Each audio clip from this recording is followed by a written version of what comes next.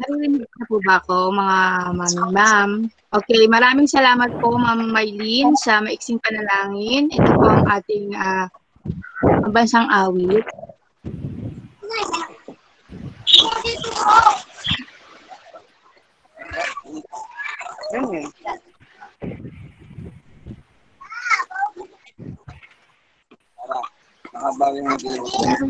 Yang lagi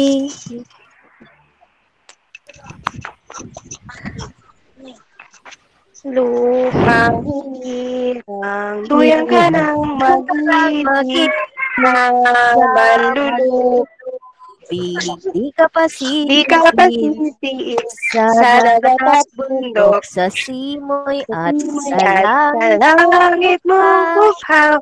May dilagang tula at awit Sa paglayang minamahal ang kisap ng wala Mo'y Mo'y tagumpay na Ang bituin at araw man kailan pa may di magdidilim Lupa ng araw Araw na Hating pagsinta Buhay langit Sa piling mo Aming ligaya ng may mga api ang mamatay ng Okay, um, sa'yo.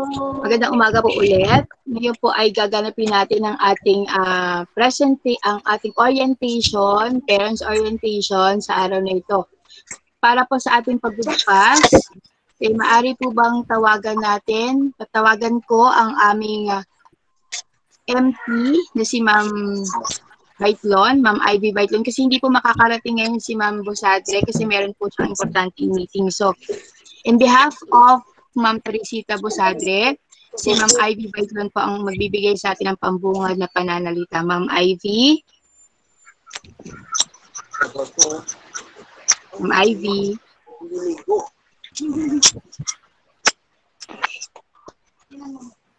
Nandyan ba si Ma'am Ivy? Ma'am, parang wala po. Hindi ba wala sendan net ng link? Meron ma'am, nag-ano ako sa kanya, nag-send po ako sa kanya, ma'am. Nandiyan na po ba si Ma'am Ivy? Ma'am, wala po. Wala pa po si Ma'am Ivy. Nag-send. Wait lang po ah. May, sadili lang po ah.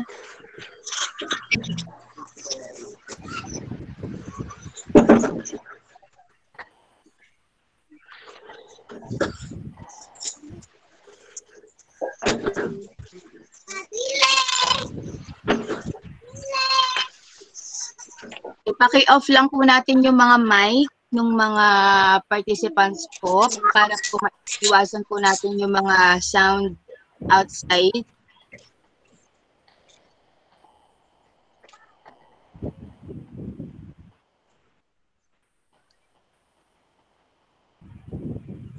Signal.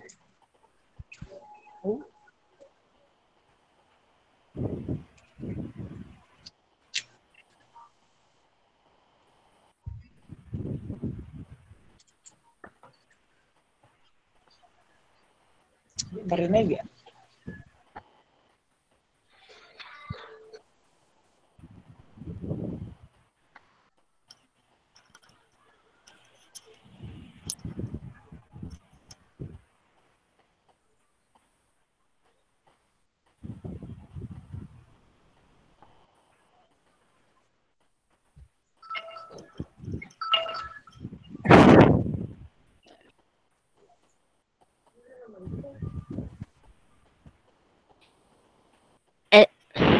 Hello po, good morning po. Ayan po.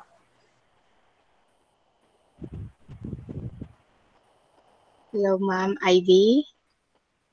Ma'am Monet, magpalit na lang kaya kami ni Ay, Ma'am. sige, ay Ma'am, Ma'am Janeda. Sige, Ma'am. Okay, si Ma'am Janeda po ang aming ah, Master Teacher 1 sa Araling Panlipunan ang magbibigay muna sa atin ng pambungad na pananalita.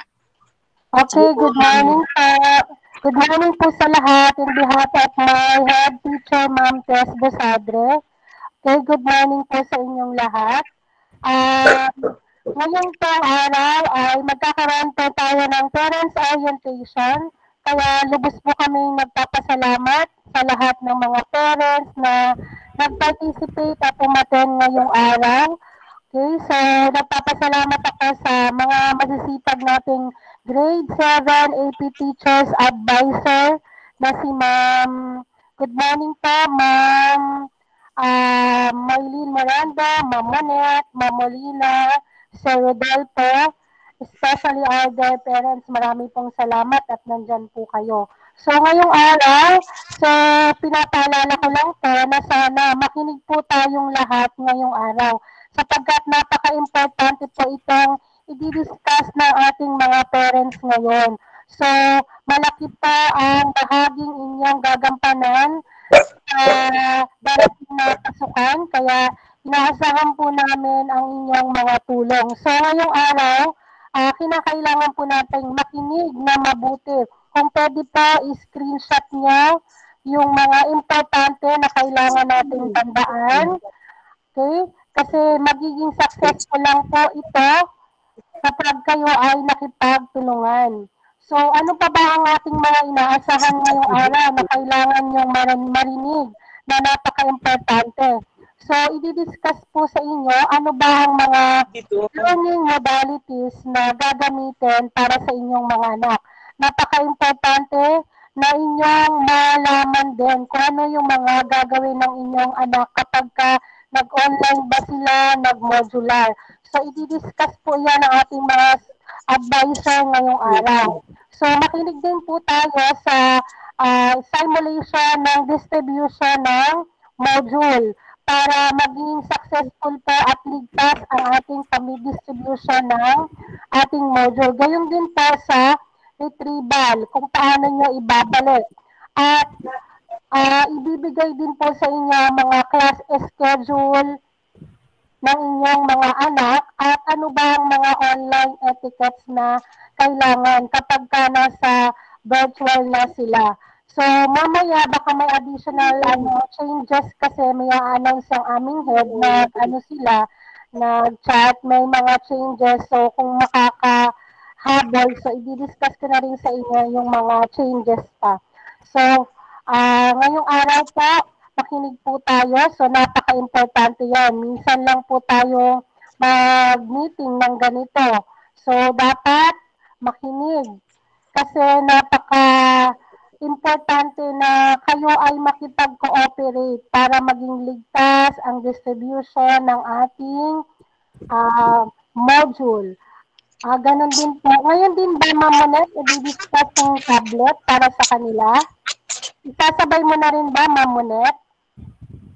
Opo, ma'am. Isasabay na po namin, ma'am. Ay, hindi nyo na isi-separate paano yung distribution ng tablet. So, ngayon din po yun i-discuss para hindi na uh, mag ano pa ng iba pang araw. So, muli pa, good morning po sa inyong lahat. Okay, maraming salamat po, Ma'am Joneda. Okay, magsisimula na po tayo ng ating orientation. Mangyari lang po na yung mga participants po natin, mga magulang, magandang umaga po. Paki-off muna po yung mga mic natin and then wag pong pipindutin yung present para po hindi na tayo maantala sa ating um, pagpe-present ng, present, ng speaker. Okay, mangyari lang po na makinig tayo ng mabuti dahil po ito ay mahalaga para sa ating lahat, lalo na po sa inyo kasi para hindi po tayo magkaroon ng kalituhan pagdating po ng bago mag-araw po ng pasukan. Okay, sa unang uh, paksa po natin ay ang distribution po ng module packets na tiyatawagan ko po si Ma'am Maylin Morenda para talakayin ito. Ma'am Maylin. Hello po, good morning po. Ayan po. Sige, Ma'am Monet, papresent na lang po ng ano, yung module. Ayan. Ayan. Isang magandang umaga po uh, sa ating lahat at lalo-lalo po sa aming MT na si Ma'am Dorothy Dioneda, ang aming walang sawang sumusuporta sa grade 7. Pang, uh, tapos po ay muli po magandang umaga at mapagpalang umaga sa araw na ito. At ito na po yung ating pinakahihintay sa pinakahihintay na kung saan ay ang distribution of module. So, sa distrib... Mamonet, pakibak mo nga po saglit. Yan. Yan. Sa, isa pa po. Yan. Yan. Sa distributions of module, ipapakita natin dito yung tinatawag natin, yung schedule nyo, yung flow ng distribution, kung paano i-distribute ang module. So, makikita nyo po sa screen ng inyong ah cellphone, kaya paki ano nyo na, screenshot, sa grade 7, September 14, 2020, ito po yung inyong magiging distributions of module. So, doon lamang po kayo sa petsa ng September 14 na maaaring pumunta ng eskwelahan. So, bawal po ang 18, 19, 20. So, wala po sa inyong mag entertain kapag pumunta po kayo ng 15, ng 16, kasi sa ibang grade level na po ito. Okay? So, tandaan po, September 14 ang ating distributions of module. So, pangalawa po ay, sino po ba yung recipient? Pag sinabi natin ng recipient ng distributions of module, ay yung mga tinatawag natin for parent who choose modular learning modality. Includes regular, special curriculum, and ADM students. So, ta, kayo, ah, lahat po, ibig sabihin, lahat po ng pumili ng tinatawag nating module. So, yun po ang kina, yun po ang ang recipient o maaaring tumanggap ng module. Ayan. Kung may katanungan po kayo, ha, pakilagay na lang po sa chat box natin. Okay? Next po. Ayan. Ito po, kanina pinakita sa inyo kung anong araw. Dito naman po ngayon ay ipapakita sa atin kung anong araw at kung anong oras. So, Cherry Blossom A and B, pupunta po kayo. Kailangan nandun na kayo eksaktong 10 a.m. hanggang 11 a.m. Okay. Rizal B, 3 p.m. to 4 p.m. Lily A, 1 p.m. to 2 p.m.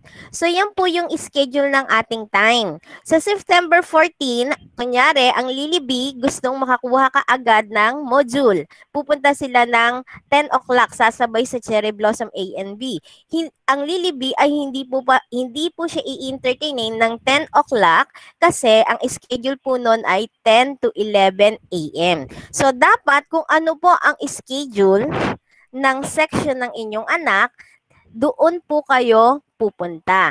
Okay?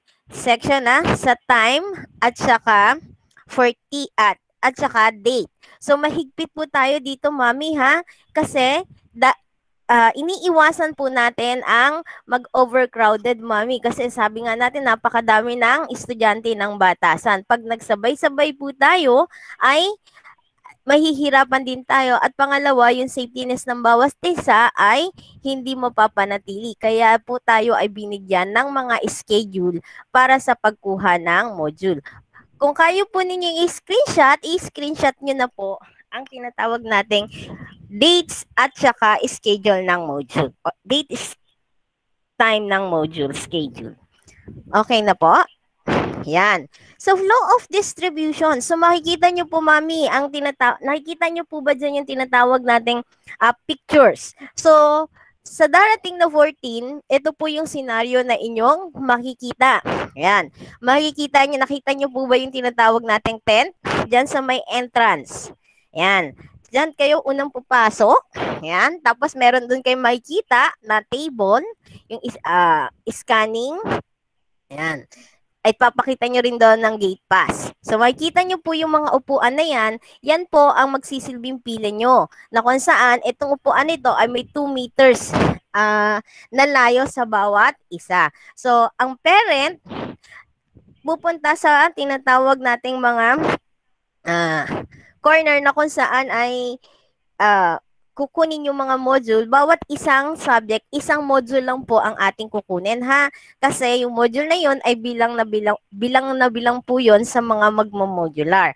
Pagkakuha po ng module, makikita nyo po dyan yung exit. So, ang exit po natin ay sa senior high gate.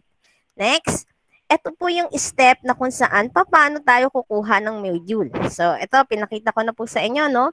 Yeah. Sige, Mamonet, next po. Yan. Ito po yung step. Una, this step to be followed. Number one, disinfecting tent. Upon entry, pass through the disinfectant disinfecting tent. So, bago kayo kina pumunta sa disinfecting tent, kinakailangan nyo na ang magsuot ng face mask, face shield. At wag na wag din po ninyong kakalimutan na magdala kayo ng alcohol or kahit na anong disinfectant. Kasi syempre, kailangan po nating mag-ingat. Okay, next. Um, number two, gate pass. So, kinakailangan po, sa gate pass, dala-dala nyo na. So, may dala kayong one port of one port sheet of paper, tapos nakalagay ang ibang information, kagaya ng date, name of parents, student, LRN of student. Mami, yung LRN po ng student ay napakahalaga. Kailangan nakasulat po doon ang LRN sa gate pass. Kasi po ito ay nagsisilbing number ng inyong module. Kapag walang LRN, baka hindi kayo maku ah, mabigyan ng module. Kasi yun po ay isang palatandaan na kayo ay enrolled. Okay? Kayo ay isang estudyante. Okay? O yung anak niyo pala ay estudyante. So, bukod dun sa LRN of student, syempre yung section natin, wag kakalimutan. Yung address, contact number, tapos ilalagay din yun, may temperature din po doon. Tapos, may kailangan din nyo po i-present ang tinatawag nating quarantine pass tapos magpa-check po kayo ng temperature. So, eto mamaya yung gate pass, ipapakita ko po sa inyo kung ano po ang magiging itsura niya kapag ilalagay na po sa one port. Yan. Number three, fall in lines. Yan, seated with 2 meters distancing. So, nakita nyo po yung mga tinatawag nating share doon. Doon po tayo pipila. Ayan. Nakaredy na po yon. Tapos, follow health protocols. Ayun kailangan magsuot pa rin ng face mask, face shield, magdala ng alcohol or any disinfectant. Pangalawa ay, ay pangalawa, ang last ay avoid chatting. So habang kumukuha tayo at nakapila, wag po muna tayong makikipagkwentuhan. So hindi naman natin pinagbabawal makapag-usap, pero ito ay para pa rin sa ating kapakanan lahat. Ayan, no? Kasi syempre sobrang dami, ha? daming tao niyan sa araw na ito, no? Sa araw ng distributions. Kaya mas maganda mag-avoid ano muna tayo. Ah, wag muna tayo makipag-usap. Okay, next number four, pick up module. So get one ah, kuha ng isang module sa bawat subject. Tapos nung pagkakuha, direct, diretso exit na po tayo. Sa exit po, papuntang exit, papuntang senior high, meron pong magkukil sa inyo. Ayan po. Next.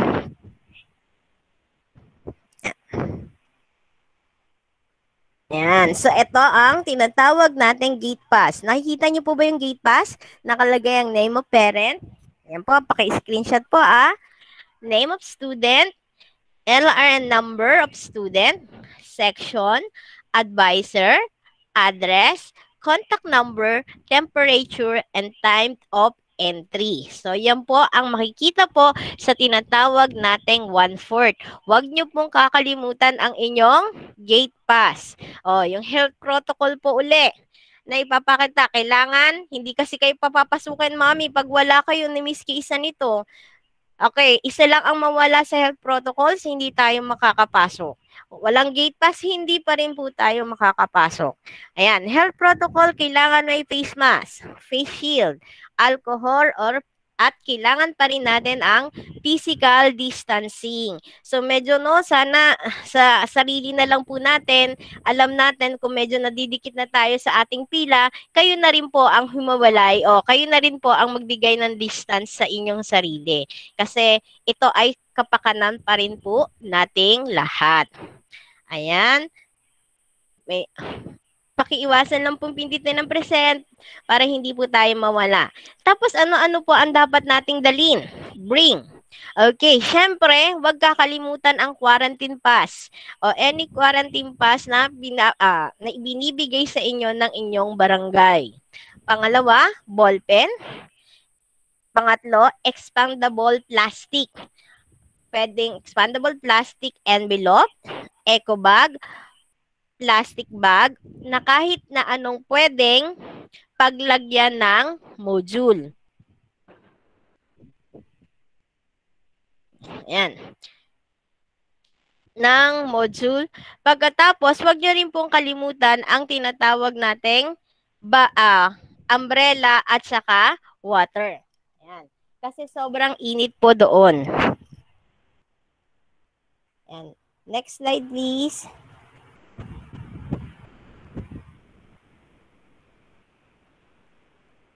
Ayan. Ito po yung ating tinatawag ng pagdi-distribute. Ayan. Medyo mabilis po ba ako? Okay lang. Ayan. Sa distributions of module, kailan nyo po ba makukuha yung distributions of module? Sa susunod na pagkakataon. So, sabing ganon, depends on abil- availability of materials. So, depende po yan sa availability ng materials natin, ano? Pero ang target po natin, once every quarter. So, sana makuha natin yung once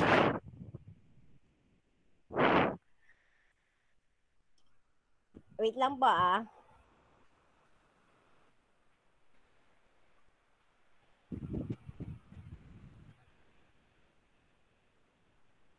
Yan. So, once every quarter. Pag sinabing once every quarter, first grading, second grading, third grading, fourth grading, dapat ang punta. Pero, depende pa rin po yun sa availability. Pero, meron po tayong other options. So, yung other option natin, once once a month, two, two to four modules every subject per distribution. Tapos, ang proposed schedule po ng grade 7 every last Monday of the month. So, yun yung magiging proposed schedule po natin sa distribution ng module. So, yan po ah. So, eh dito po siguro if ever na magkakaroon ng ano, mag-a-update pa rin po sa inyo ang mga advisor, kaming mga advisor. So, pag distributions of module, ayun, sabay na rin po yung tinatawag nating pagbabalik ng module. Sa pagbabalik ng module, meron po atang mga box doon, doon nyo ilalagay kung anong grade ang inyong mga anak. Ah, anong grade, anong section ang inyong anak, doon nyo ilalagay, idadrop sa may box na nakalagay doon. Okay, next slide po, please. Okay, Ayan. thank you po. Maraming po Ma'am salamat sa pakikinig. Okay, yung mga questions po natin, mga mga magulang, mamaya po meron po tayong open forum para po sa lahat ng queries nyo. Para po ngayon, dire-diretso muna po yung discussion. Then after all the discussion po, lahat po ng questions and queries, dun po ilalagay natin sa chat box. Then mamaya po sa open forum po, i-entertain po namin lahat ng inyong mga katanungan. And then from now, dito po muna tayo sa ating discussion. So, ito po yung nating next topic is netiquette.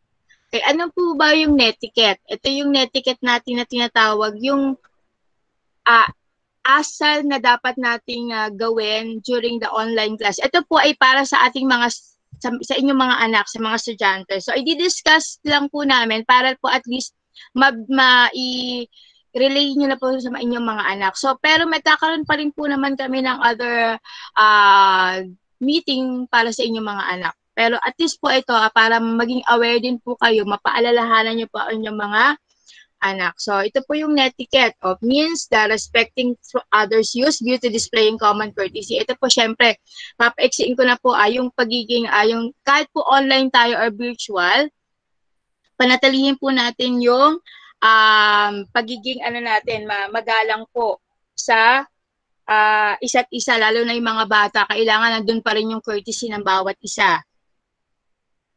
Malinaw po ba yung audio ko, mga nanay? Okay, next. Ito po Opo, yung ma'am, mga... Manila naman po. Okay, maraming salamat po. Ito po yung mga rules to follow. Ito po yung mga um, tinatawag nating online rules or netiquette natin. So, stay focused and disciplined. So, importante po, yung mga bata po maging focus. Kahit po nasa bahay sila, kailangan po yung focus sila nandoon. So, yung screening time lang naman po namin ay siguro maximum po yung 30 minutes 30 to 45 minutes. Pero 30 minutes lang po ang allotted at the per subjects. Magkakaroon po kami ng, ibibigay po namin schedule later. So, stay focused and discipline. So, importante po yun sa inyong mga anak. Maging focus, maging discipline pa rin kahit nasa loob ng bahay. So, parang imagine na lang nila nasa classroom na rin sila kahit nasa bahay sila. So, next, respect your teachers and classmates. Okay, mahalaga po yun. Listen to your teacher attentively when discussing. Ah, paki-off po yung mga mic, mga magulang, mga nanay. Maylin, Mamaylin. Um, yes po, yun nga po, respect teachers and classmates. Yun po, kailangan po natin ng respeto. Kahit nga po sinabi ko kanina na online class tayo. Okay, yung pong mga ginagawa nila,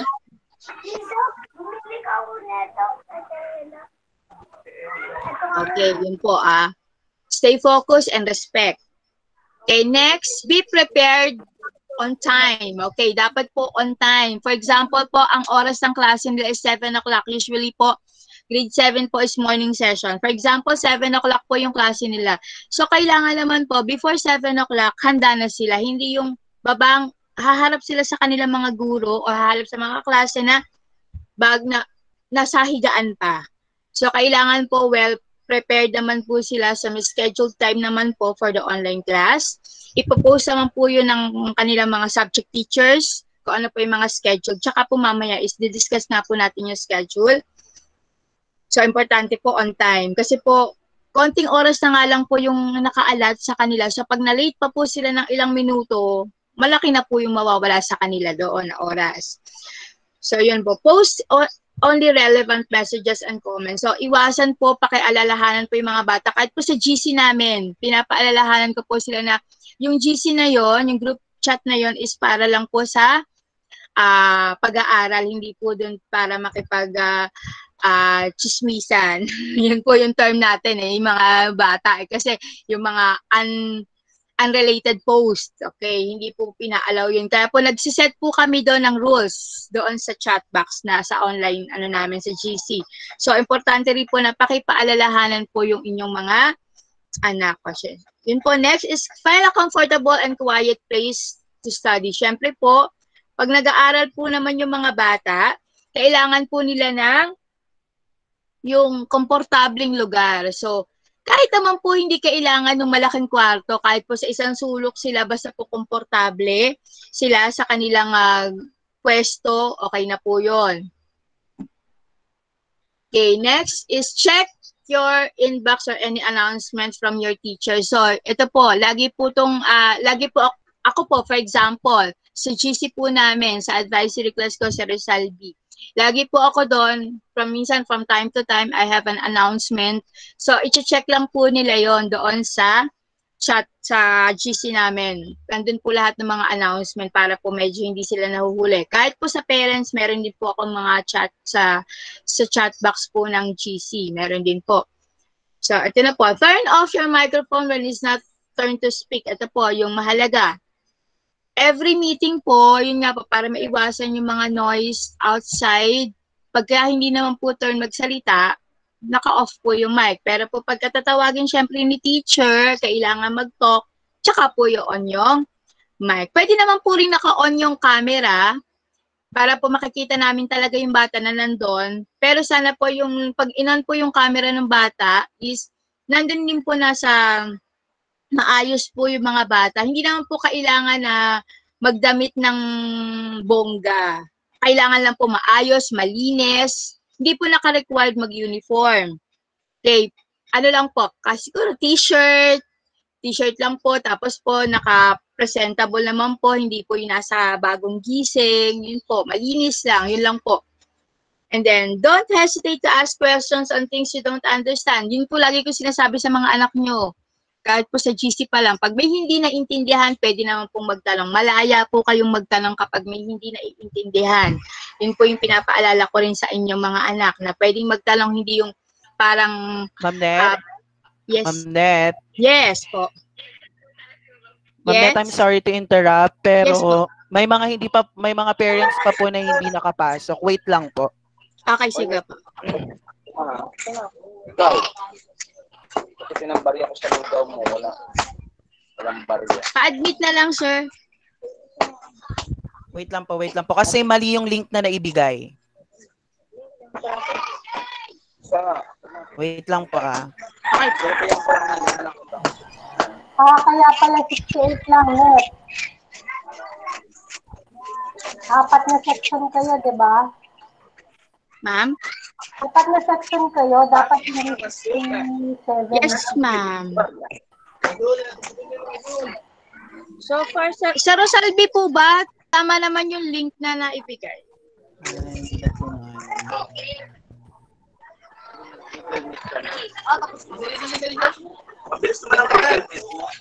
Sa Lily 8 po, na-send ko na po sa GC natin yung link. Pakipindot na lang po sa GC natin. Sa Lily A po, nasa GC na po natin. Papindot na lang po.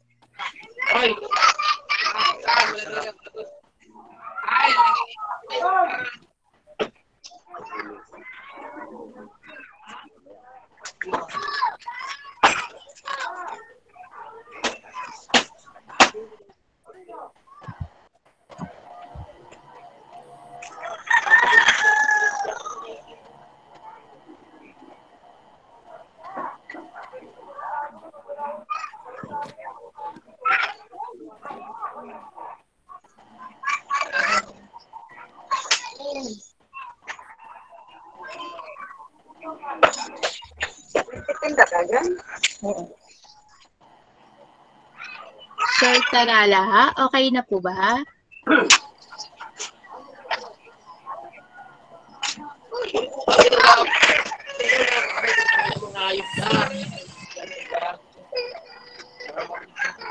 Ma'am, wait lang ma'am, wait lang. Okay po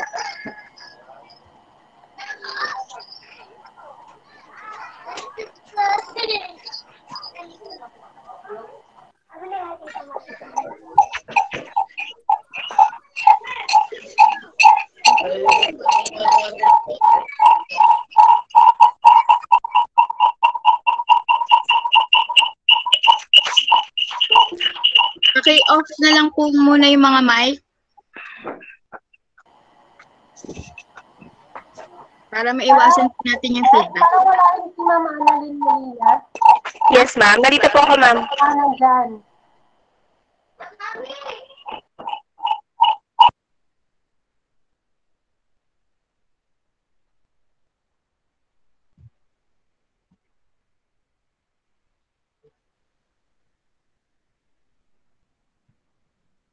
Ayan, ma'am Net. Okay na po, sir? Sir, okay na po? Sige po, sir. Ay, sige po, ma'am. Sige po. Okay, thank you. Okay, so ah itutuloy po natin yung ating ah, discussion. Okay, yun po. Ah, yun nga po, yun yung netiquette natin, itutuloy po natin. Yun po yung kanina kong nabanggit, yun po, turn off the mic kapag hindi po tayo magsalita and then don't hesitate to ask questions. Yung mga anak niyo po, pinapaalalahan naman po natin yan. And then, ito yung pinaka-importante, submit po ng output and requirements on time. So, hanggat maaari po sana kung kung mapapanitili po natin na on time sila mag-submit ng kanilang mga requirements and output. Meron naman pong time allotment. So, yung pong time allotment na ibibigay namin sa kanila is, I think, enough naman po yun to comply naman po all the requirements. Kasi po, hindi naman po kami magbibigay ng ganun karaming requirements as of today. Kasi nga po, alam naman natin po yung sitwasyon natin. So, ah hindi po ganun karami yung mabibigay namin na requirements for their output para lang po sa kanila yon. So, siguro naman po mako-comply nila yon kung talagang gagawin po nila yon ng exact time. And then next, participate actively during the recitation time, during the online class. Meron po kami din dong recitations din. May mga activities kami online.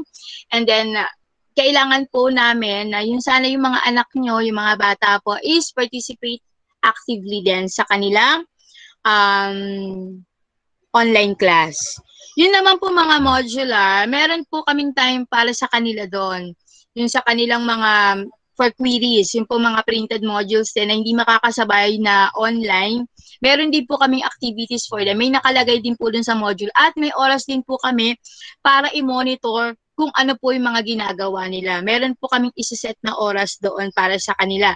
I-send na lang po ng mga teachers, yung mga subject teachers, kung ano po yung spe- specific time for them na imo-monitor po namin kung ano man po yung ginagawa or gagawin doon sa module. So, hindi naman din po, ah wag po mag-alala yung mga modular na mga bata na kak- na hindi maiintindi ng mga teacher. So, guided pa rin po namin kahit modular po.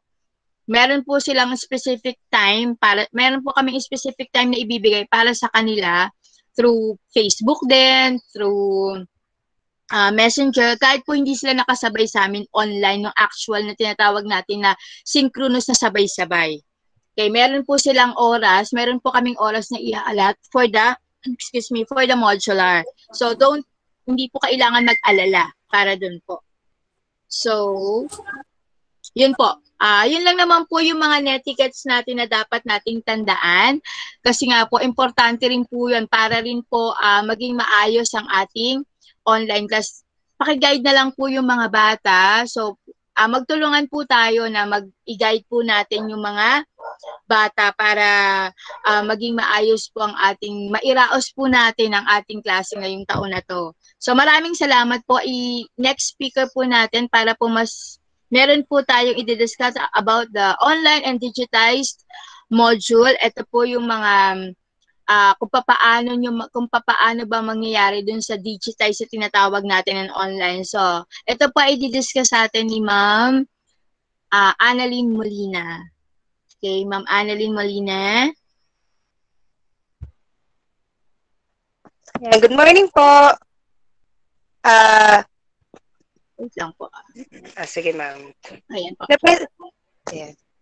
So, good morning, Ma'am Dots. Good morning po, teachers, at good morning, parents. At malinaw po ako. Yes po, malinaw. Yes, Ayan. ma'am. Okay naman. So, ang topic po na aking ipepresent ay ah, tungkol po sa mga online platforms.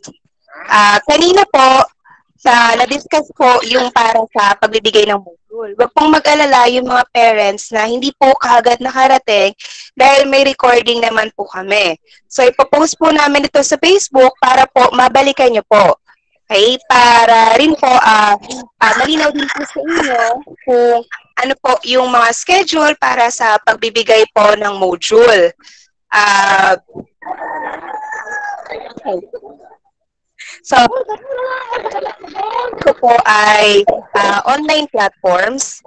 So, nagkaroon po tayo ng iba't ibang mga modalities. So, meron po tayong mga modular, meron po tayong pure online at mga digitized module. Ah, ano po ba yung um, pure online? Sa pure online po, nandito po yung paggamit ng Google Classroom, ng Gmeet, kagaya po ng ginaga- ginagawa natin ngayon. Maaari rin pong gamitin yung YouTube kung saan maaari pong manood ng mga lessons sa mga estudyante na gawa po ng mga teachers. So, paano naman po yung digitize? Dito po papasok yung Facebook. So, lahat naman po tayo ay mayroong mga Facebook account. Lahat po tayo ay ah, may, um, connected sa social media at ang pinakasikat na social media na ginagamit natin ay Facebook. So, ang Facebook, napaka-normal lang po sa atin ito. Hindi natin masyado napapansin, pero pwede natin itong gamitin sa ating pag-aaral. So, paano po ba gagamitin ang Facebook sa pag-aaral? So, yung teacher po, mag-create ng isang Facebook classroom. Diba? So, ang Facebook classroom ay po pwedeng gawin sa pamamagitan ng paggawa ng mga Facebook group. So, yung mga group po sa Facebook, ah po pwede pong gumawa dito, mag-join yung mga estudyante, pwede pong per class ang gawin ng teacher, pwede pong lahat ng mga hawak ng sections. So, depende po ito kay teacher kung paano po yung setting na ganyan na kanyang gagawin. Sa isang Facebook group po kasi, po pwede siyang mag-post ng mga ah, videos na related po sa klase. Po pwede din pong mag-post ng mga files si teacher kung saan pwedeng i-download ng mga estudyante. Pwede rin pong magawa ng mga poll o ng mga tanong na sasagutin po ng mga bata. Interactive po ito dahil ang mga bata po ay pwedeng mag-chat sa isa't isa, pwede po silang mag-comment, mag-communicate sa isa't isa. So, may nabasa po akong ah, comment kanina na paano daw magkakakilala po yung mga bata, gayong hindi naman po sila nakikita. Ah, sa time po kasi ng pandemya, syempre, mahirap po yung face-to-face na pagkikita. So, yung social media po, pwede nating gamitin para magkakilala yung mga bata. Pwede po silang mag-usap sa mga Google or Messenger na which is moderated po ng mga teacher. Pero, yun po, ah pagdating po sa klase, magpo- magsisend po si teacher ng file. So, kung ano po yung topic nila, isisend po ng teacher, pwede pong i-download ng mga estudyante, babasahin po nila yon. Mapakababa lang po ng MB or nung ah, data na kakainin kapag nag-download po ng file. Kadalasan naman po, naka-PDF yun. So, mas mababa po yung mga data na gagamitin sa pag-download. Ah, yung teacher naman po ay magbibigay ng preview tungkol doon sa kanyang ibinigay o sinend na ah, module sa mga bata. So, pag nagawa po ng mga bata na ma-accomplish ang module, isasubmit po nila yung output nila kay teacher. Ah, ang lesson po kasi ay per week. So, kapag natapos po nila, i-send po nila yung kanilang mga nagawang module sa kanilang teacher. So, pwede po nilang sagutan ito gamit yung messenger ah, para maka, ah, para may-send po.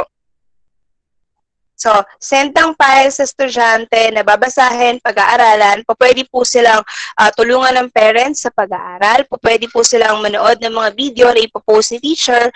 Pwede din pong gumamit ng mga ah, messenger room kung saan magtuturo po si teacher.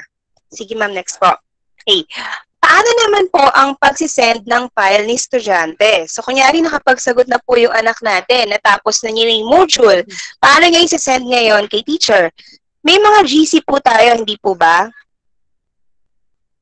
So, bawat klase po may GC. Meron din pong GC para sa buong section. Ngayon, paano mag-send? Pwede po bang doon sa GC niya i-send yung message o yung kanyang sagot? Ah, syempre hindi po. Kasi maaari pong makita ng mga classmates niya yung sagot.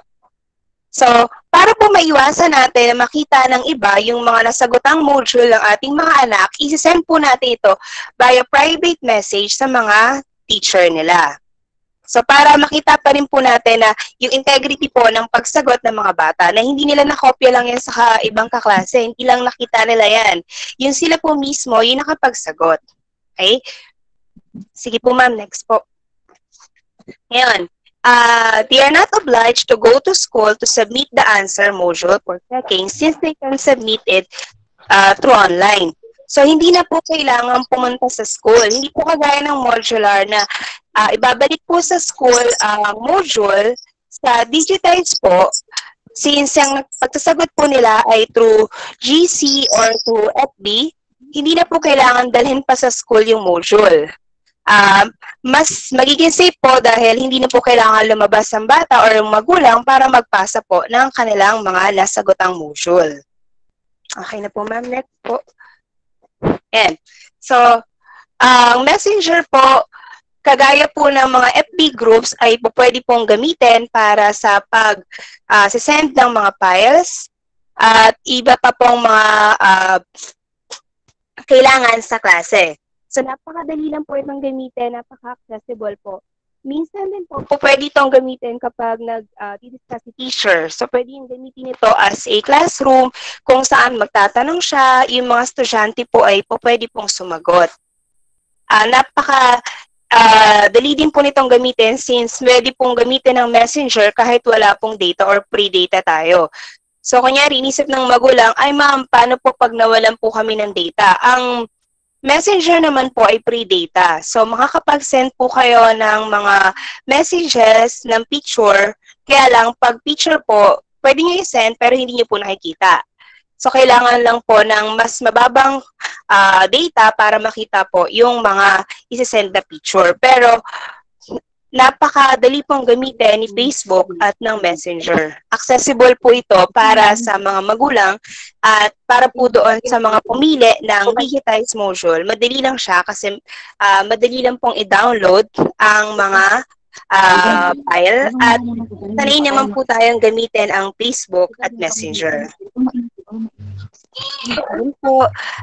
Kung may mga katanungan po, ah pakilagay na lang po sa chat box. Meron pa bang slides, ma'am? Hey po. Annalyn na po. Next na po yung ano natin, yung about na po sa tablet. Ah, thank Kung may, you, ma'am. Diba?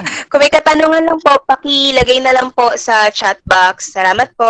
Thank you, ma'am. Ma'am Annalyn, paki-accept po yung, ah, paki-add po sa link yung mga sinend ko po na email.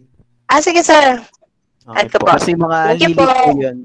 Okay po. Thank you. Sige, sir. Ah, maraming salamat po, Ma'am Annalyn, Ma'am Molina. Okay.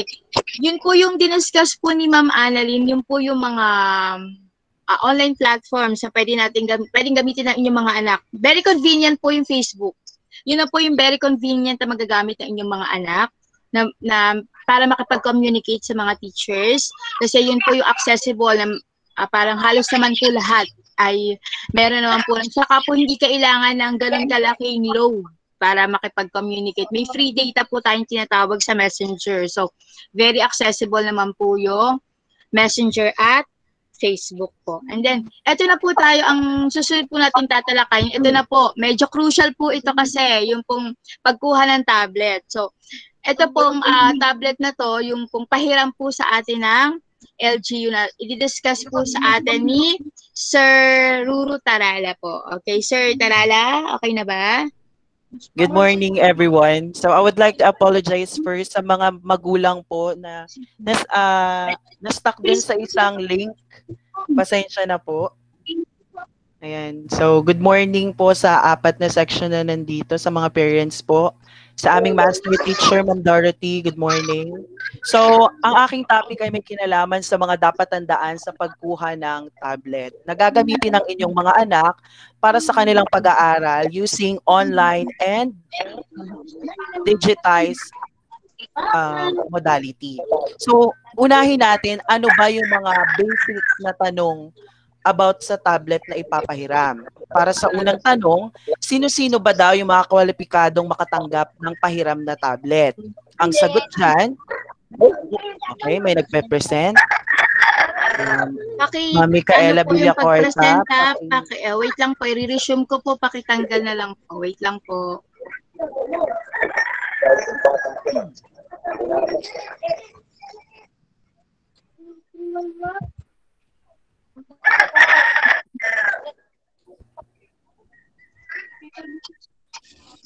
Paiwasan lang pong pindutin yung present, mga nanay, tatay, pas, ano po, para po maging, maay, maging dire-diretso na po ang ating discussion. Salamat po. Okay. Para sa unang tanong, kagaya ng sabi ko sa inyo kanina, sino-sino ba daw yung mga kwalipikado makatanggap ng pahiram na tablet? Ang sagot dyan, ang lahat na mag-aaral sa junior at seniors high school sa lahat ng pampublikong paaralan ng Quezon City ay kwalipikado makatanggap ng pahiram na tablet if you choose the online and digitized modality. Kalawa, ano-ano yung mga kasama sa ipapahiram na tablet? Ang ipapahiram na tablet ay may kasamang mga accessories kagaya ng SIM card na may buwan ng internet allowance. Pero itong internet allowance na ito ay na, na ibibigay ng local government ay hindi pa siya sure. So kaya ina ang tinanong namin kayo kung kayo ah, available ba ang wifi sa inyo kasi para hindi na hindi tayo masyadong umasa dun sa internet allowance na ibibigay ng local government. So ang lahat ng ito ay dapat ingatan at pangalagaan sa lahat ng oras. Kung ano man po yung ibibigay sa inyo na nakasama ng tablet, ingatan po natin yon hanggang matapos ang school year. Kapag meron po kayong mga katanungan, pakilagay lang po sa chat box at sasagutin po natin mamaya. para sa susunod na tanong, kung sakaling sira o kulang ang accessories ng, ng tablet na natanggap mula sa paaralan, ano ba daw ang dapat gawin ng magulang? So, responsibilidad ng magulang na agad itong i-report sa taong pinagkuhaan upang ito ay masuri o mapalitan agad. So, kung meron kayong mga napansin na depekto doon sa natanggap ninyong tablet, ipagbigay alam nyo kagad doon sa nagbigay sa inyo o sa pinagkuhaan ninyo para masuri ito at mapalitan agad kung meron talagang problema. Tandaan, ang pagre-report ay dapat mabilisan. Ito ay dapat gawin habang ikaw ay nasa paaralan pa. So, huwag kayong uuwi nang hindi nyo na-check yung ibinigay sa inyong tablet. Lahat dapat ay matry ninyo para pag uwi ninyo ng bahay, walang problema.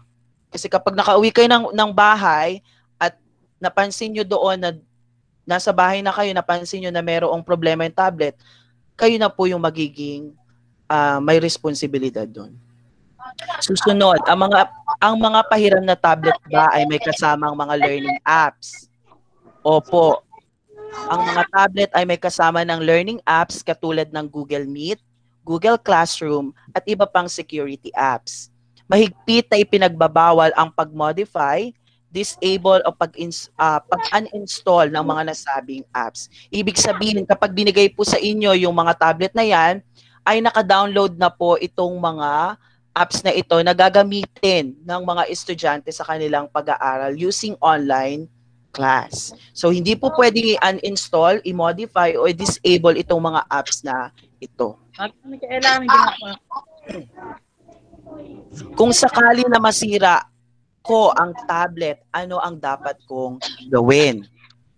O ito, makinig ng mabuti. Responsibilidad ng magulang at ng mag-aaral na i-report agad ito at dalhin ito sa kanyang class advisor. Ang gagastusin sa pagpapaayos ito ay sagutin ng magulang at ng mag-aaral.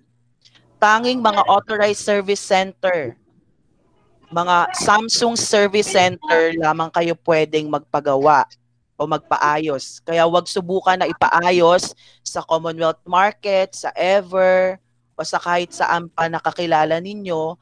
Tanging dadalhin nyo lang ang, ang lugar kung saan dadalhin lamang yung nasirang tablet ay sa mga authorized Samsung Service Center. Next, hindi ba may warranty ang tablet? Opo, may warranty ang mga tablet kaso ito ay pasok lamang sa mga issues katulad ng hardware defects. Hindi kasama sa warranty kapag nahulog mo yan, nasunog mo, nasunog yung mga wirings, nabuhusan ng kung ano-anong mga likido, normal wear and tear, at pagkawala ng mga accessories ito o yung pagkabasag. So, kapag may mga gantong mga insidente, hindi na ito cover ng warranty. Ang cover lang ng warranty ay yung mga hardware defects. Okay, next. Kung sakaling nawala ito o nanakaw, ano ang dapat gawin? Ang magulang o guardian ay dapat maghanda ng mga pangunahing papeles, police blotter, at certification and sworn affidavit. Ang mga ito ay magpapatunay na nawala talaga ang tablet. So ikikwento ninyo doon o isasalaysay niyo doon yung kung paano nawala o yung kwento ng pagkawala ng inyong uh, o nagpapatunay na nawala ang inyong tablet. Kung sakaling hindi maihanda ang mga papel na ito, babayaran ng magulang o guardian ang tablet na nawala o nanakaw. So kailangan ng police blotter and certification and sworn affidavit para mapatunayan ninyo na nawala yung yung uh, tablet. Next, maaari ba akong mag-download ng games, Netflix o gamitin sa business ni mama o papa ang tablet? Gamitin sa online selling? Hindi po maaari. Ang tablet at internet na pinahiram ng local lokal na pamahalaan ay dapat lamang gamitin sa pag-aaral, hindi sa pagbebenta online. Mahigpit na ipinagbabawal ang paglalaro, panunood ng mga malalaswang panoorin, cyberbullying, pag-download ng mga app na walang kinalaman sa pag-aaral ng mga mag-aaral. Bawal din itong gamitin sa online business. Ang mga magulang ay responsable sa anumang nalabag dito. So bawal po silang mag-download kahit anong mga games at kahit anong mga apps na walang kinalaman sa pag-aaral. So mga nanay, bantayan po natin ang ang tablet na ginagamit ng ating mga anak. Kasi kapag nahuli po yan na meron pong mga apps na walang kinalaman sa pag-aaral, ay magiging pananagutan nyo po yan. Maari ko bang gamitin ang tablet sa labas ng bahay? Para na rin sa kaligtasan na mag-aaral at ng tablet, ang tablet ay dapat gamitin lamang sa loob ng tahanan, maliban lamang na inutusan ka ng guro na gamitin ito sa labas. Pero hanggat maaari sa loob ng bahay natin gamitin ito para maiwasan ang pagkasira o pagkawala. Kailan po dapat isauli ang tablet? Ang tablet ay isasauli sa huling araw ng ikaapat na markahang pagsusulit o huling araw ng exam nila. Ngunit kung sakaling magpasya ang mag-aaral na huminto sa kanyang pag-aaral, sa loob ng limang araw, kailangang isauli agad ito sa paaralan. So kung naisip o napagdesisyon na na tumigil sa pag-aaral, kailangan sa loob ng limang araw ay maisauli na ito sa class advisor o sa kung saan sa pinagkuwaan. Kung sakaling ako ay lumipat ng paaralan, ano ang dapat kong gawin? Magta-transfer. Responsibilidad ng magulang na agad itong isuli, isole o isauli sa paaralan o sa class advisor. Ngunit, kung ang lilipatang pampublikong paaralan ay bahagi ng Quezon City, hindi na kailangang isauli ito. Ngunit, kailangan pa rin na ipaalam ito sa paaralan para magkaroon ng tamang koor- koordinasyon at inventory. So hindi pwede na dahil alam mong taga Quezon City o Quezon City lang yung paglilipatan, hindi mo na ipapaalam sa class advisor. Kailangang ipaalam pa rin ito sa paaralan o sa class advisor. Ano ang parusa ng mga magsasanla o magbebenta ng tablet? Ang mapapatunayan na nagbenta o nagsanla ng tablet ay pagmumultahin ng 5,000 at hindi na muling makakatanggap pa ng tablet mula sa local government ng Quezon City. So bawal na bawal po ang pagbebenta. Ipinahiram lang po sa atin yan, hindi po yan sa atin. Kaya wala po tayong karapatan na magbenta o magsanla nito sa kahit na kanino. Kung gusto niyo pong magbayad ng 5,000, bahala po kayo. Ano ang parusa ng mga taong bibili o pumayag isang laang tablet sa kanila? So mas mabigat yung magiging parusa ng mga tatanggap ng sanlang tablet mula sa local government. Ang mga mapapap ang mga mapapatunayang bumili o pumayag na isang laang tablet sa kanila ay pagmumultahin lamang na pagmumultahin ng 5,000 at maaaring makulong ng hindi bababa sa anim na buwan. Ano ang parusa sa mga mag-aaral na magda-download ng games? Merong mga students dito, makinig kayo. Ano ang mga parusa para sa inyo kung kayo ay magda-download ng games, movies at apps na walang kinalaman sa pag-aaral? Unang paglabag, pagbawi sa tablet sa loob ng isang linggo at kinakailangan sumailalim sa guidance counseling.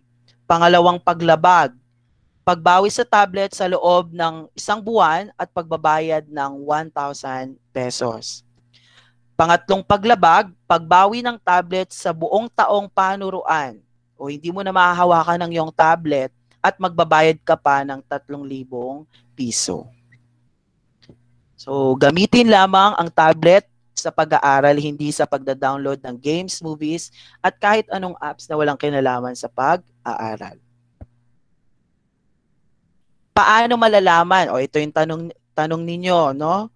Paano naman nila malalaman na nag-download kami ng mga apps na walang kinalaman? Hindi naman nila nakikita for for the information of the parents and students, mayroon kasi tayong tinatawag na inspection team na binubuo ng mga representative galing sa Quezon City Local Government Unit, School Division Office, School Principal, General PTA, at barangay officials. At kapag na-inspect yung tablet ninyo at nalaman na nag-download kayo ng ganitong mga apps na walang kinalaman sa pag-aaral, maari kayong maaring mag-lead to doon sa mga offenses na nabanggit ko kanina. Sa unang paglabag ay isang linggo na ah, isang linggo na hindi nyo mahawakan ng inyong tablet at mag-undergo kayo ng guidance counseling. Ikalawa, magbabayad ng 1,000, isang buwan na hindi mahawakan. At yung pangatlo, kung talagang matigas ang ulo, no, napagsabihan na at hindi pa rin talaga tumigil, nag-download pa din siya, hindi mo na mahawakan ng tablet mo sa loob ng ah, buong school year, magbabayad ka pa ng 3,000. So kung ako sa inyo, panatilihin ang tablet na ah, walang Yata. mga apps na walang kinalaman sa pag-aaral. Paano malalaman ng QCLGU ang mga nasabing paglabag? Kasama rin sa obligasyon ng mga magulang at mag-aaral na makilahok sa regular monitoring and evaluation na gagawin ng Wala. nasabing Pinin, pindot mo ba? Nawala? Ano po yung nawala? Ayan. So kasama rin po kayo sa mga ah, sa gagawa ng ins- ng inspection. Yan. Ito po yung salaysay ng pagpapatunay at pagpapatibay na kayo po ay nanghiram ng tablet. So, nakastate po dyan ako, si Blank, na ustong gulang, kasal, Pilip, ah, walang asawa, Pilipino na kasalukuyang naninirahan sa bilang magulang, guardian ni yung estudyante o pangalang estudyante na kasalukuyang naka-enroll sa Batasan Hills National High School sa grade ano po yung grade niya and section matapos makapanumpa sa sang-ayon ah, ng sang-ayon sa batas ay nagpapatunay at nagpapatibay na at hindi naka-enroll sa ibang yan po yung nilalaman ni- nitong salaysay na ito na nagpapatunay at nagpapatibay na kayo po ay nanghiram ng tablet. Ma'am Net? Yan po. Number one, ano po yung nilalaman nito? Number one, ako ay nakatanggap ng isang tablet. Samsung T295 mula sa lo- lokal na pamahalaan ng Quezon City para magamit sa distance learning ng mag-aaral na nakasaad. Na base sa aking pagsusuri, ito ay natanggap ko ng maayos, gumagana at may kompletong accessories. Kaya po, i-check nyo po bago po kayo umuwi, i-check po ninyo yung tablet at mga accessories na natanggap ninyo. Pangalawa na ako at ang aking anak ay pansamantalang tagapangalaga lamang nito. Nakastate po dyan, tagapangalaga lamang kayo ng nasabing tablet. At ito ay pag-aari pa rin ng lokal na pamahalaan ng Quezon City. Kaugnay nito ay hindi maaring baguhin, alisin o sirain ang property stickers ng tablet. Wag na wag nyo po yung sisirain. So, pangatlo, na ang tablet at data allowance ay gagamitin lamang ng aking anak para sa gawain na may kaugnayan sa kanyang pag-aaral. Na maliban sa kanya, ang tablet ay hindi maaaring gamitin sa iba, kagaya ng games at anumang apps na walang kinalaman sa pag-aaral.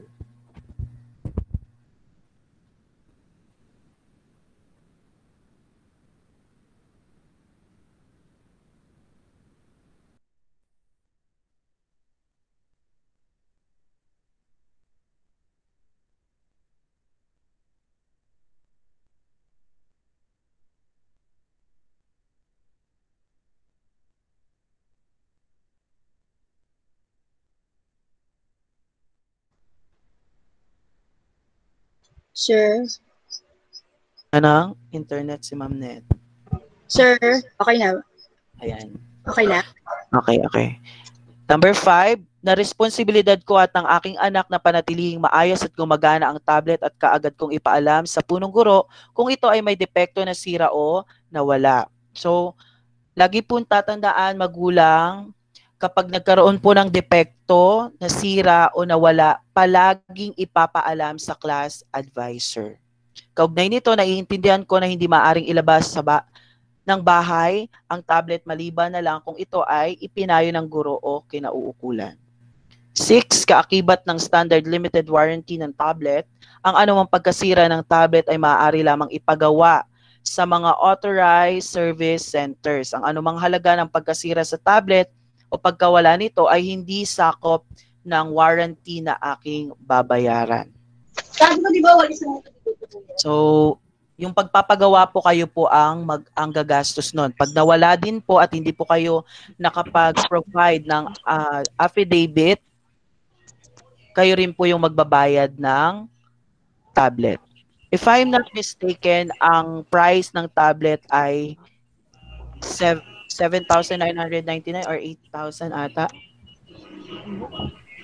Tama po ba ako, Ma'am Net? Sabi para nasa around 15k daw po yung tablet. Kasi sila po yung unang gagamit ng tablet. Ah, okay. So, dahil kayo po ang unang gagamit, nasa 15K po. So, ingatan po natin yung ating mga tablet. Number seven, na hindi ko isasanla, ibebenta, ibibigay, ipapahiraman ng sabing tablet. Naiintindihan ko na ako ay mananagot sakaling ito ay mawala o masira. Liban la lamang kung ito ay bunsod ng kadailanan na wala sa aking kontrol. Number eight, kung sakaling mawala o manakaw ang tablet, responsibilidad ko at ng aking anak na ipaalam ito sa gurong tagapayo. Kaakibat nito ang pagkuha ng at pagsumite ng mga dokumentong magpapatunay sa pagkawala tulad ng police blotter at certification and sworn affidavit. Number nine, na aking ibabalik sa aming paaralan sa huling araw ng ikaapat na markahang pagsusulit o sa tinakdang oras ang tablet kasama ang lahat ng accessories at data SIM na nasa mabuti at gumaganang kalagayan. So make sure na kung ibabalik nyo po ito, wala po itong depekto dahil gagamitin pa ito ng susunod na mga mag-aaral. Number 10, na sa anumang paglabag sa kasulatang ito ay nauunawaan ko ang aking pananagutan sa ilalim ng SP 2953 Series 2020 at ang kanyang IRR at sa ilalim ng mga umiiral na batas. So pananagutan ninyo kung ano man po yung mangyari sa tablet. Ayan po. So, sinumpaan at tilagdaan sa harap ko ngayon, yung date po, pangalan ng magulang. So, ano po yan? Legit po ito kasi meron pong pirma ng guardian o ng kumuha ng tablet.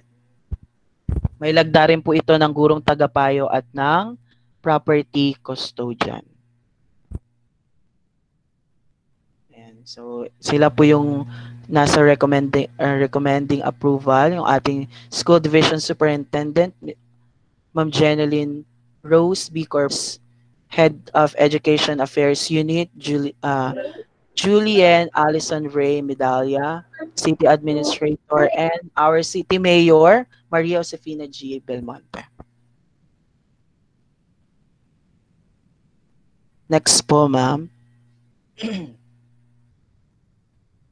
so, paano po yung proseso ng pagkuha natin ng mga tablet? So, distribution of tablets sa Cherry Blossom A and B I-distribute po ang inyong tablet sa September 30, 2020 sa ganap na 1 p.m. hanggang 3 p.m. Bawal po malate. Sa Lili A naman po, October 1, 2020, 8 a.m. to 10 a.m. Sa Rizal B naman, October 1, 2020, 1 p.m. to 3 p.m. If I were you parents, iti-take notes ko po to para lagi ko pong matandaan. Ano po yung flow ng distribution ng tablet. So, sa entrance, dadaan muna po kayo ng disinfecting tent. Ma'am, pakibalik po. Ay, sige, sige, sige, ma'am. Yan, dadaan po muna kayo ng disinfecting tent. Susunod po sa scanning of gate pass. So, meron pong ibibigay sa inyo na format ang inyong mga advisor ng gate pass. So, yun po ipe-present ninyo para papasukin po kayo ng guard. And then, pipila po kayo.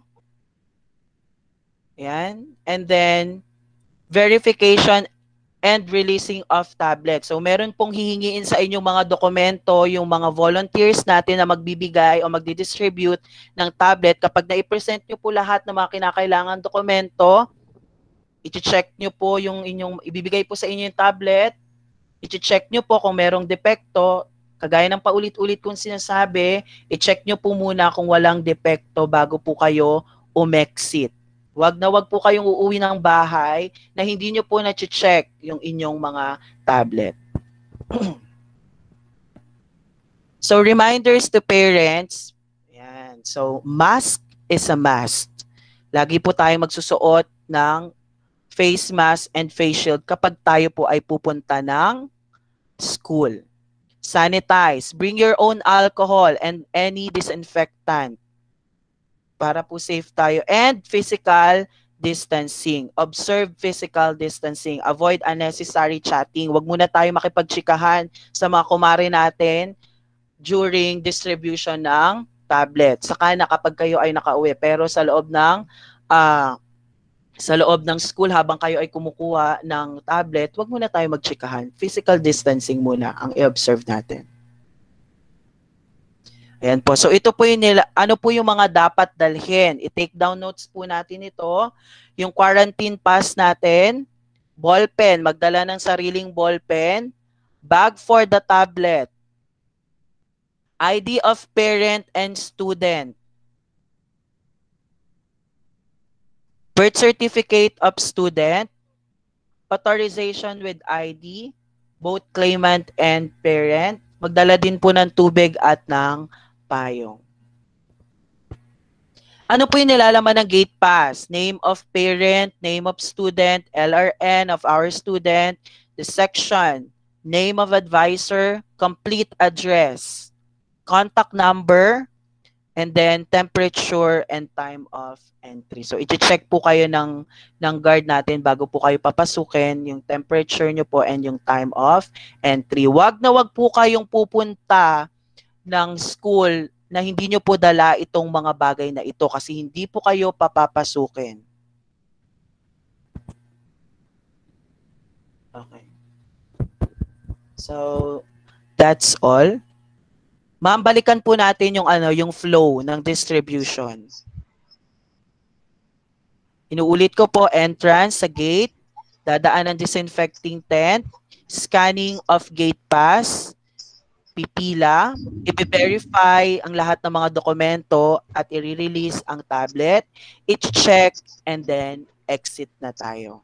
So, mga nanay, sundin po natin itong protocol na ito kasi po, ang mananagot po kapag hindi po maayos ang inyong ginawang ah, ang flow o hindi nyo po sinunod itong flow na ito ng distribution, ang mananagot ay ang inyong ang advisor ng inyong anak.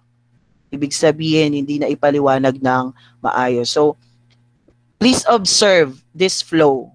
Tandaan po natin ito at wag po tayong maging pasaway during the distribution para maiwasan din po natin yung hawaan ng COVID. And then, maging maayos po yung flow natin at hindi magkaroon ng interruption. So, kung may mga kung may mga question po, pakilagay na lang po sa comment box. Apo. Yes po. Ah, yun po doon po nagtatapos. Pero po yung po mga questions natin, queries, pwede na pong isulat sa chat box. Ma'am Annalyn, pwede mo na rin pong ano and pakibasa na lang po kung ano po yung mga questions na nilagay na sa chat box. Ah, Sige, ma'am. Start po ako, mama. Okay po. Babasahin ko na po. po. Sige po. Galing ma'am. po kay ah, Mr. Luis, Mateo, and Martina Carcelar. Ah, maglalabas po ba kayo ng list of student na meron modules? Ah, yes po. Per advisor po 'yon. Nakalis yak- nagpasa po ng master list kami, tayo po, 'di ba, Ma'am Annalyn? Lahat po ng advisor nagpasa po ng master list doon sa ah, office po sa registrar and then po si Ma'am Registrar po, si Ma'am Alvio, siya po ang magdi-distribute noon sa mga focal persons or dun sa mga volunteer teachers po natin na naka-assign po na mag-distribute ng ah, modules and tablet. So, meron pong listahan. So, hindi po pwede halimbawa po is modular ang pinili mo ay ang ikiklaim mo po ay tablet. Hindi po yon Kasi po, meron po silang master list. Kung ano po yung, at pa paalala ko ha, yung pong survey na naunang nagawa natin, yun po yung i-consider. Yung pong ah, late na nag, late na nag, bago yung isip, maybe pagbibigyan po kayo for the second batch. Kasi po, um, noon pong time na nagpapasa kami ng survey, yun po yung mga available.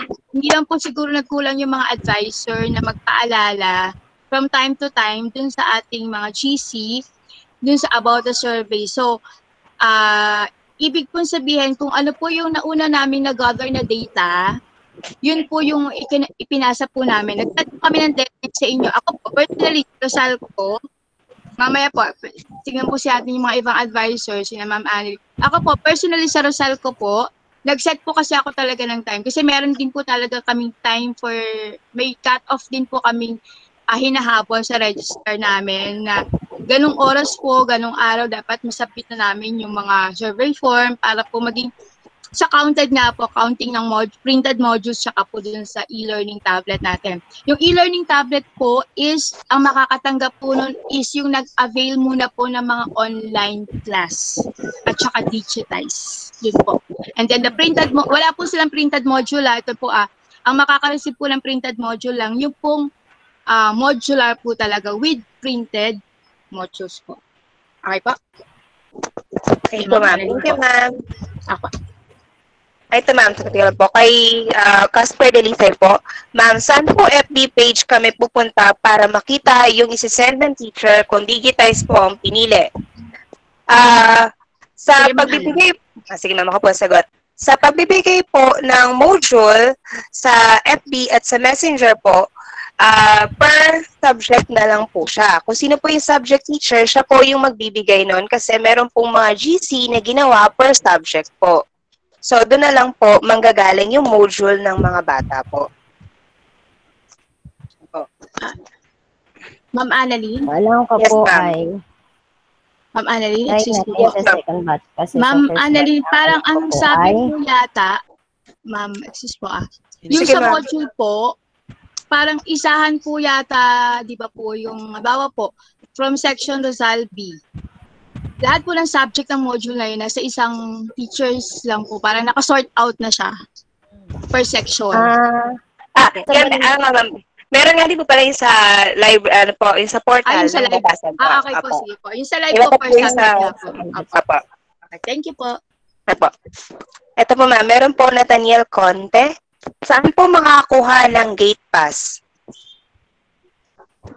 Okay. Yan pong Ayun gate pass. Kayo, kayo, Ano yung pong po, content ng gate pass, yung naka-post po dito, yung gate pass po, naka-post, naka-post po sa screen. Kokopyahin nyo lang po yan sa isang papel, one-fourth sheet of paper na malinis sa papel. Ilalagay nyo po yung content na nakalagay dito. Kokopyahin nyo po. Kayo po yung gagawa niyan. And then, yung, kayo po rin mag-fill out niyan. So, so importante po na alam niyo syempre yung LRN ng anak nyo, advisor, address. Yung importante po dapat complete address and then contact number, active contact number po.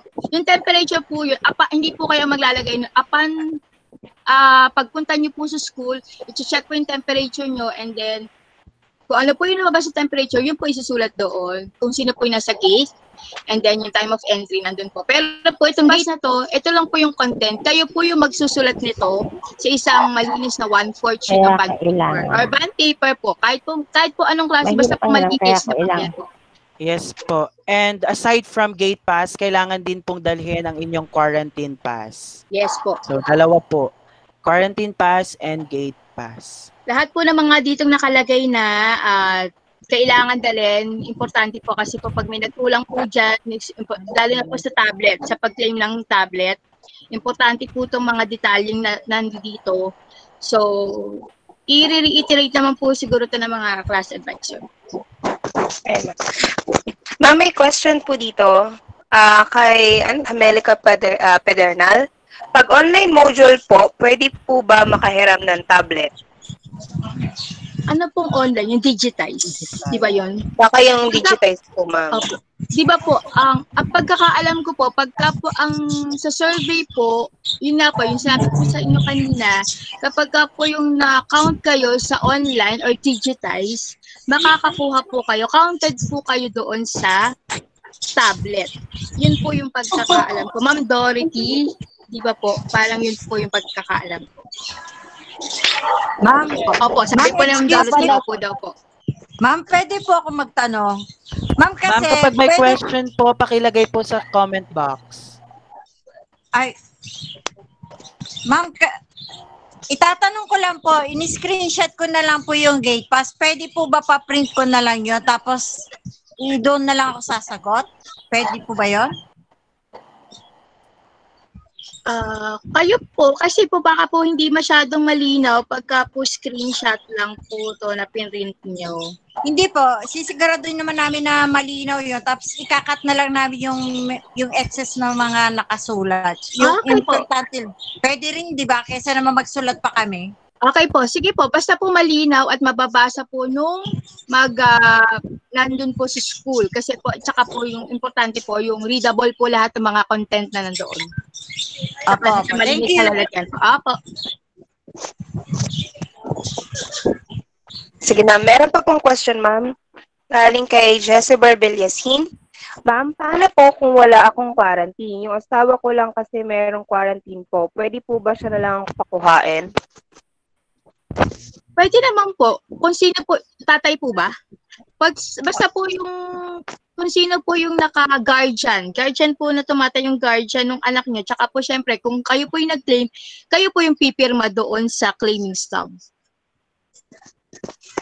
Ay, ma'am, po. April and Diaz po. Ma'am, ask ko lang po, eh, pwede pa po magpalit ng online class. Yung pong pagpapalit natin, yun po, katulad sinabi ko po kanina, nag-submit na po kami ng survey form last time.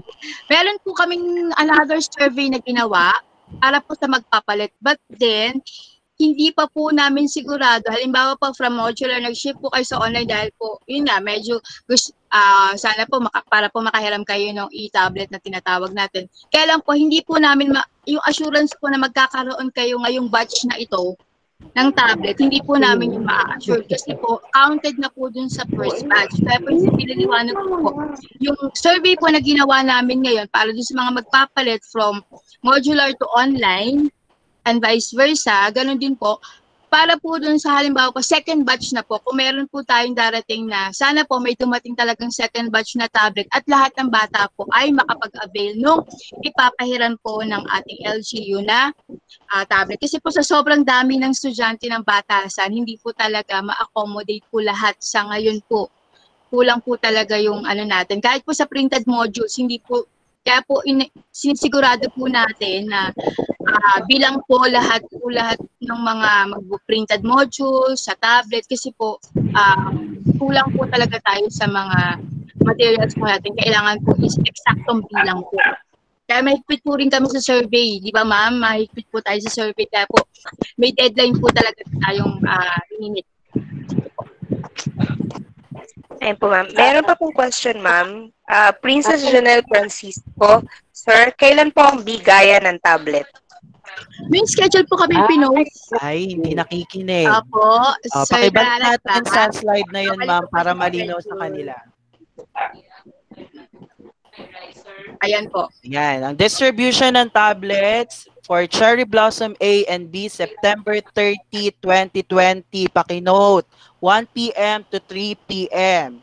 Lily A, October 1, 2020, 8 a.m. to 10 a.m. And Rosal B, October 1, 2020, 1 p.m. to 3 p.m. Pakinote.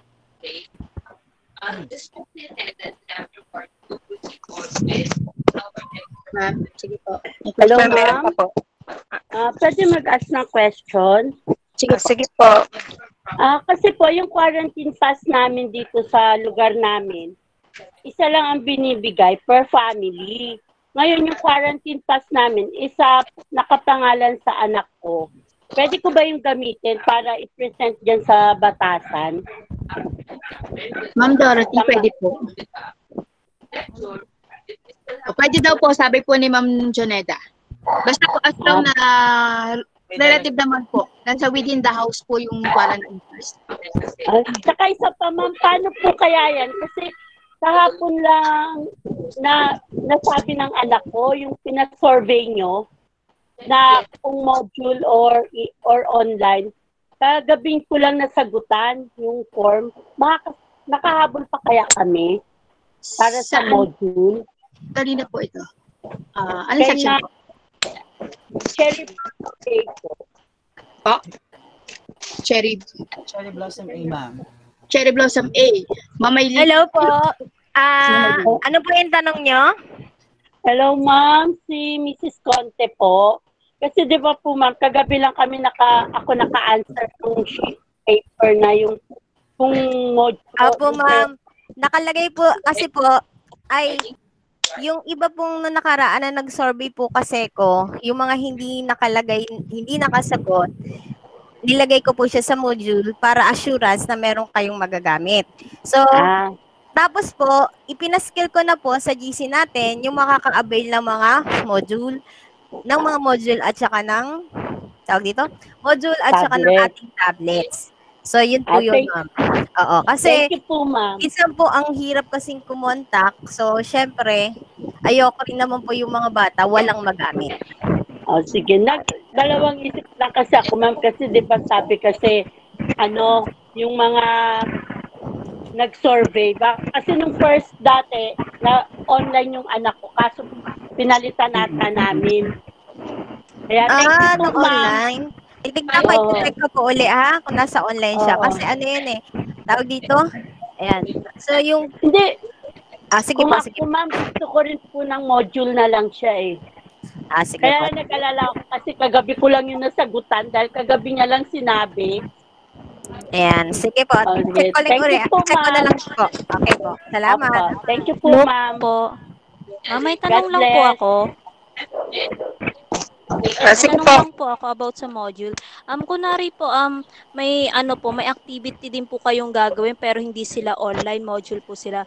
Yung activity po ba na, kunwari, may binigay po kasi estudyante na activity na ibibig, na, na ibibigay niyo po sa, sa kanya, bali, private message din po ba yon Or kasama rin po dun sa may module?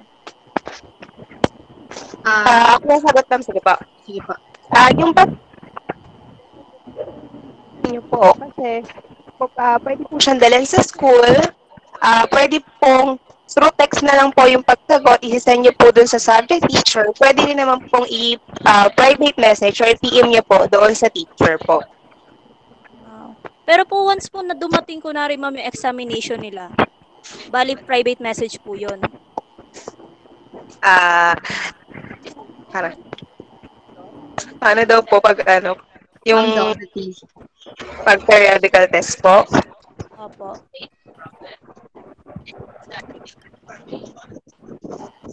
Ma'am, At sa periodical, Opo, ma'am. wala pa po opo, kasi opo ang tinatanong mo, ano magiging sistema dyan sa periodical test. Pero kung yung mga modular, meron din dyan mga test, may mga paunang pagkataya dyan, may mga quizzes. So, ilalagay nila yan sa portfolio sa yung mga modular.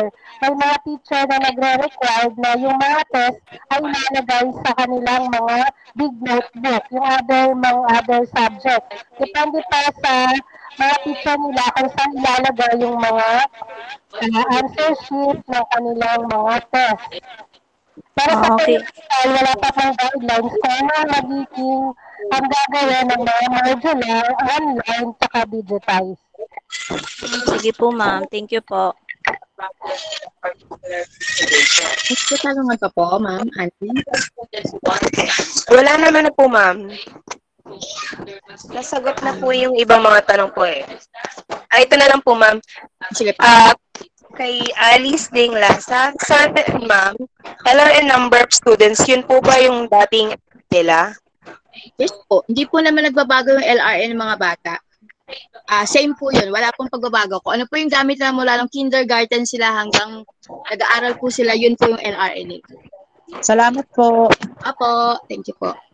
Ay, ma'am, ito pa, may nabasa po ako. Ah, Gino Mahilom po.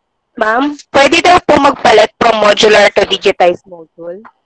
Yun nga po yung sinabi ko kanina. Meron pong panibagong survey na pina-fill up ng mga, pina-fill out ang mga advisor.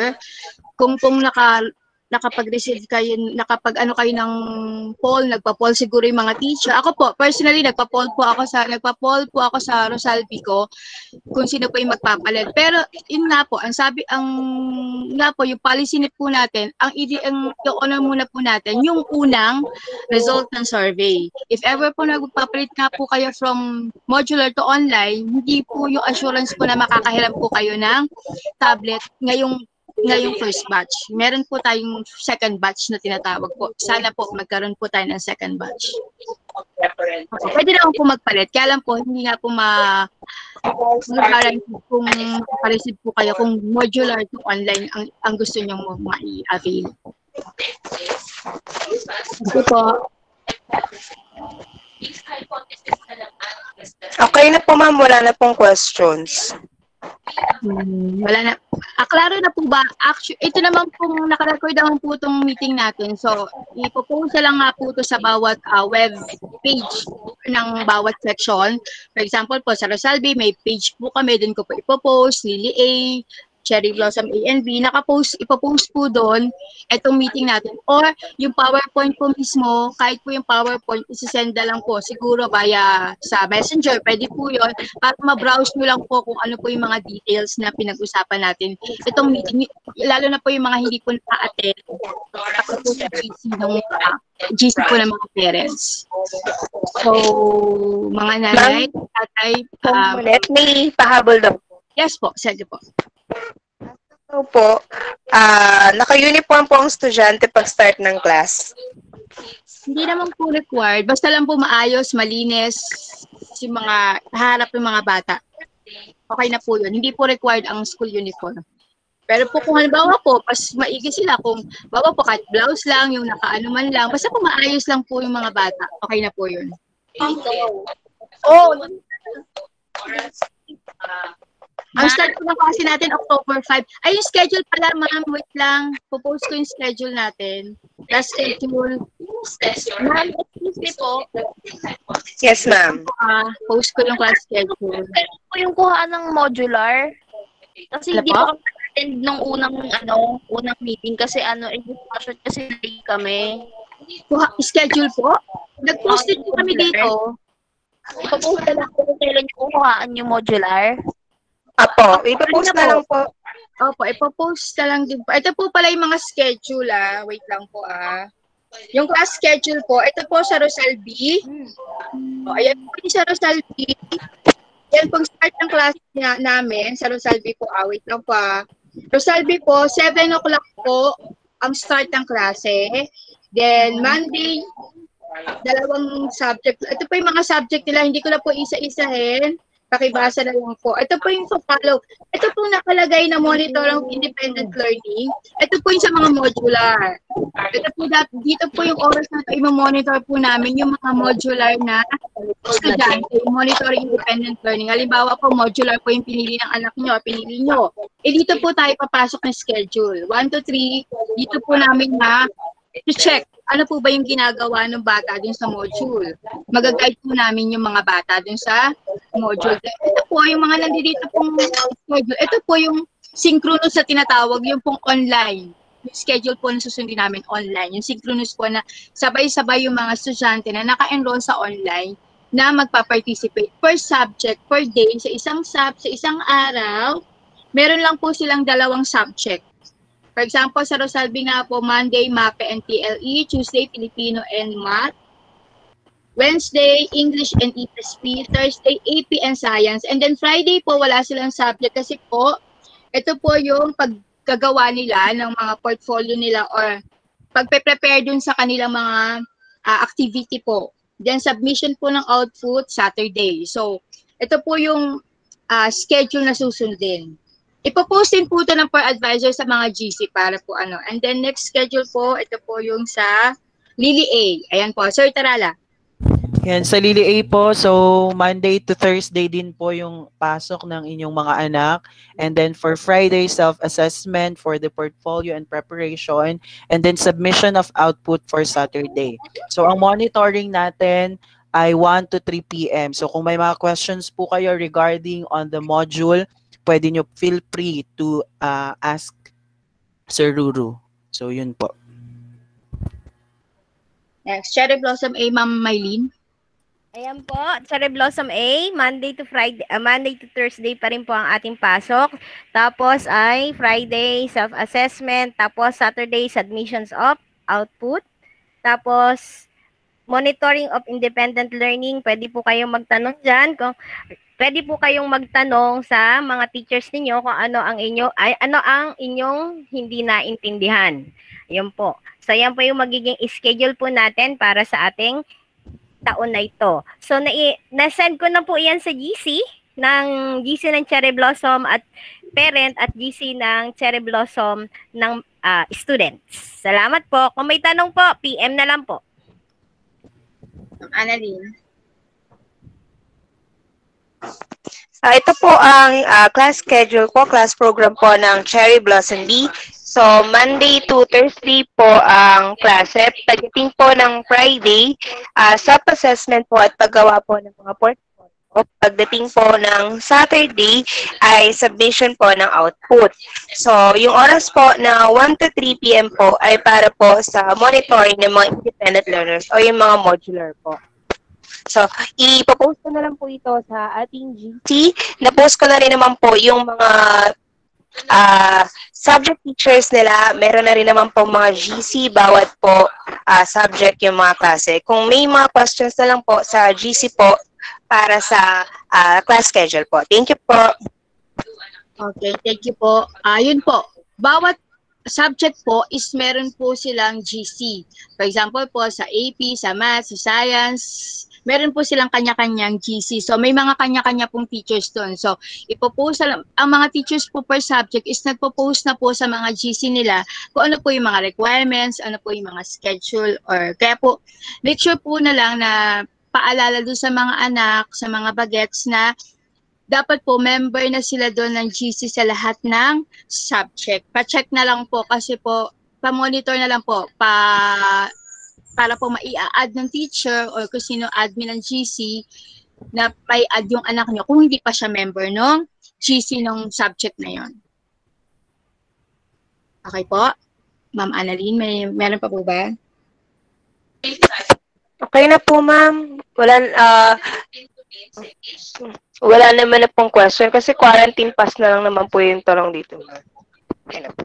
So, okay na po tayo, mga parents. So, kung may mga tanong pa po, meron pa naman po siguro, magkakaroon pa rin po ng mga meeting per advisor naman po. Kung mabawa po, malilinawan na intayin nyo na lang po yung post sa mga GC nyo ng per advisor kung ano po ba yung mga um, other additional information na kailangan nyo pong malaman. Or kung may tanong po kayo, pwede naman po, doon na lang po, doon po sa direkta sa group chat ng mga parents, ng per advisor, pwede naman po kayong magtalang. Feel free po na mag-ask ng question to clarify the, na hindi nyo po naintindihan. So, ito po, yung recording will be posted po sa mga ah, pages, group FB pages ng bawat advisory class. For example, sa Rosal, sa Lily, sa Cherry Blossom, A&B. Na ipopost po itong recording or the PowerPoint po, yung pong mismong detalye, pwede naman po isisend na lang sa messenger. Kung medyo po kasi baka mabigat medyo yung, yung MB nitong ah, recording, magka problema or hindi nyo rin mapanood kasi pagka po kailangan pa ng data para manood, at least po doon sa ano sa messenger, hindi po ganun ka-heavy yung data. Pwede naman po yung PowerPoint na lang po mismo, ipopost po ng mga per advisor para po yung information na kailangan nyo pang itandaan is matandaan nyo, ma i-take down notes nyo po. Tsaka po yung mga importante, yung mga po hindi po naka-attend. Yung po mga umattend ngayon, maraming maraming salamat po sa inyong oras. At para po magbigay ng remarks, Ma'am Dorothy. Ma'am Dorothy. Mama Net, ano yun? Ma'am, closing remarks po. Ma'am Wala na di ba? Apo, wala na raw po silang tanong, ma'am. Si Ma'am Ivy na yung closing remark. Po, andiyan na po si Ma'am Ivy. Opo.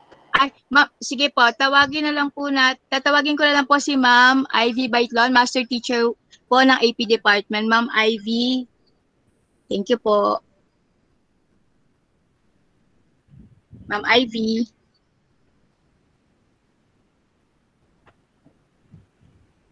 Ma'am Ivy. Ma'am Ma'am Ivy. Wala na yung ano. Ma'am, wala po yata si Ma'am Ivy.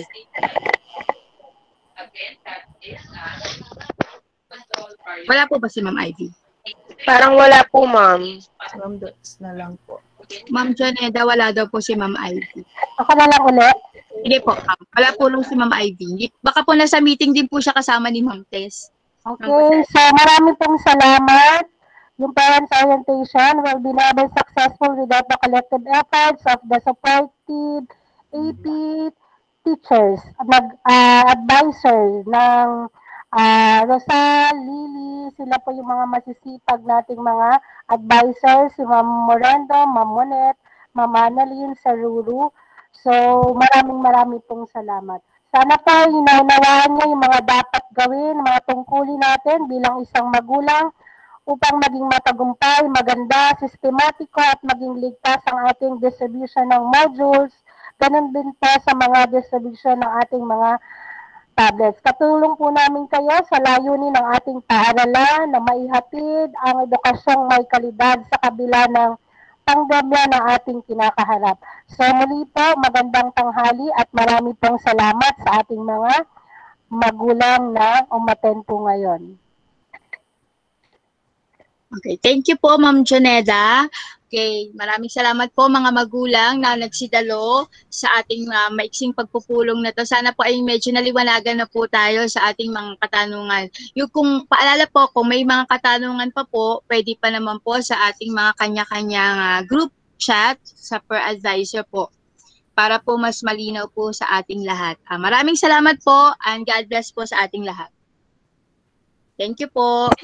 Maraming salamat po, Ma'am Joneda, mga po. teachers, Thank you so mga much parents. po. Thank you po.